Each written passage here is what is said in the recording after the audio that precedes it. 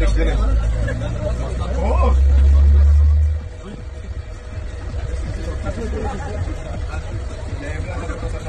Wer ist jetzt da von euch der weibliche Part? Probiert es mal mit, mit dem Sensorblasen. Ja, genau.